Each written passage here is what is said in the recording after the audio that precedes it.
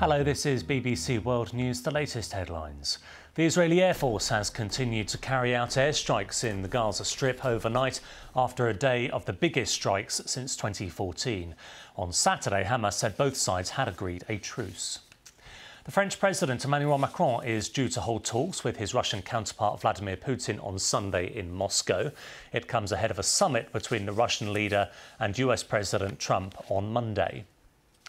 Mass protests are taking place across Nicaragua, calling for the resignation of President Daniel Ortega. Two months of violence has seen more than 300 people lose their lives.